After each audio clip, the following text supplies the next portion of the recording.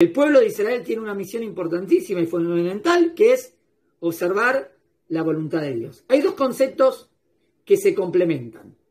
Uno se llama Atzala, Leatzil, salvar o salvación del pueblo, y la Vejira, que es Livjor, elección, o la transformación de Israel en el pueblo elegido por Dios. O sea, si van a ver cómo empieza la peralla nuestra, fíjense que hay cuatro verbos. Un verbo dice en el versículo eh, Dile a Israel, versículo 6, Otzeti etchem, los voy a sacar. Después dice en el versículo 6, Itzalti, los voy a salvar. Después dice en el versículo 7, la, eh, Gaalti, no, en el versículo 6 todavía, los voy a redimir. Los voy a sacar, los voy a salvar, los voy a redimir. Cuarto verbo, y los tomaré como pueblo. ¿Ven? Una cosa es salvar, sacar, redimir es salir de Egipto. Otra cosa es llevarlos a Israel, que todavía no lo dije, es el quinto verbo. Y otra cosa es el cuarto, es los tomaré como pueblo y seré para ustedes Dios. Ah, este es el objetivo. Es como decir, tengo Pesaj y tengo Shavuot. ¿Qué es Pesaj? La salida de Egipto. ¿Qué es Shavuot?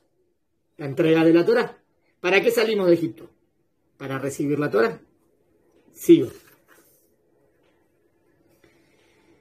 Eh, hay dos conceptos que se complementan. La tzalá, o salvación del pueblo, y la vejirá, o la transformación de Israel en el pueblo de Dios.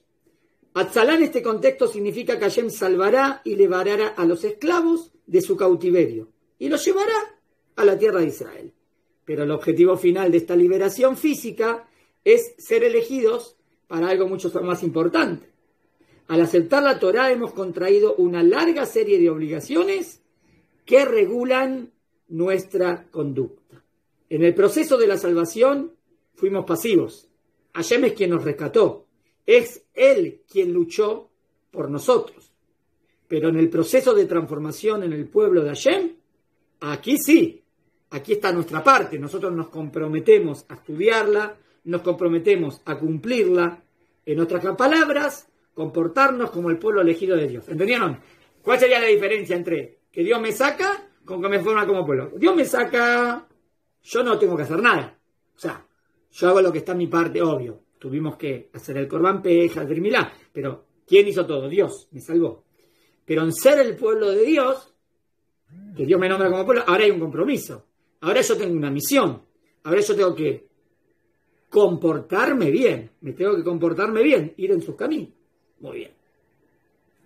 En nuestros días se podría decir que está sucediendo algo parecido. Hoy tenemos nuevamente nuestro Estado de Israel. Nos ayudó Dios a recuperar la tierra de Abraham, Isaac y Jacob. Y podemos vivir libres de persecuciones. Baruch Hashem, uno puede vivir en Israel y no dependo de mis enemigos, que, o estábamos en otros países que había antisemitismo y todo. Estamos en Israel, en nuestra tierra. Eso sería, Dios me salvó, me trajo a la tierra de Israel. Y aunque la situación de la seguridad en Israel no es óptima, cada día siguen llegando a Israel, por ejemplo, cientos de judíos, ¿está bien? De, todos lados, de Francia, el otro día llegaron de Latinoamérica, el otro día de Etiopía llegaron otros 300. ¿Está bien? A veces hasta escapando de, otros lugares, donde, pero Baruch Hashem, Israel es nuestro lugar. Pero llegar a Israel es solo la primera parte. Ah, llegar a Israel es la primera parte de la ecuación es la salvación física. Ahora queda que a Israel se comporte. ¿Qué tenemos que hacer aquí en Israel? Como siempre ustedes dicen, comportarnos como el pueblo de Hashem. Y una vez que tenemos la Torah, transformarnos en el pueblo de Hashem depende exclusivamente de quién. Que yo me comporte bien, ¿de quién depende? ¿De Dios? No depende de Dios. Que yo me porte bien depende de mí. Es el libre albedrío. Entonces nosotros tenemos que ser dignos pueblo de Hashem. Baruch Hashem somos testigos de que esto está ocurriendo. Am Israel, especialmente nuestros jóvenes, vuelven a sus raíces. Están sedientos de saber y de aprender mucho más sobre el judaísmo y sobre nuestro pueblo. Claro, que también de repente, a veces hay frustraciones, hay tropiezos, a veces hay retrocesos, pero no olvidemos que los sabios afirmaron que nuestra redención al fin y al cabo va a florecer. El proceso de florecimiento, ¿está bien? A veces es lento o a veces es de a poquito, ¿está bien? No es que de repente tengo el capullo y ya tengo la flor, ¿no? Se va abriendo, se va abriendo, hasta que tengo, veo la flor. Lo mismo sucede con nuestra redención. Lo que depende de Hashem, está lo que depende de Hashem y está lo que depende de nosotros. ¿Está bien? Hashem nos salva, Hashem nos da el Estado de Israel, Hashem nos pone todo. Ahora está en nosotros hacer nuestra parte y ir en sus caminos. Y porque ¿para qué vinimos a Israel? ¿Para cumplir la Torah? Obvio que cumplir la Torah hay que cumplirla en todos lados, en todo el mundo. Pero ¿cuál es el lugar ideal? Israel. Aunque estamos caminando, ¿está bien? ¿Está bien? Caminamos por el sendero de Hashem y tenemos que siempre ir en sus caminos. ¿Qué estudiamos en esto?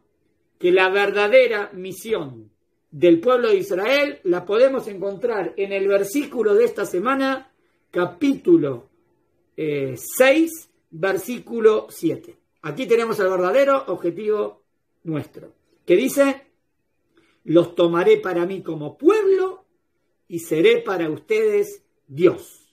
Y sabrán que yo soy Hashem vuestro Dios, que los sacó del sufrimiento de Egipcio. O sea, eso es el, como el primer mandamiento. O sea, acuérdense, versículo 7, objetivo nuestro, ser el pueblo de Hashem o sea, y Hashem es para nosotros Dios, nosotros somos su pueblo. Nosotros nos comportamos bien, Hashem nos protege y Hashem nos quiere. Hashem es lo más importante para nosotros y, y si reconocemos que Hashem es lo más importante para nosotros, Hashem también nos va a cuidar.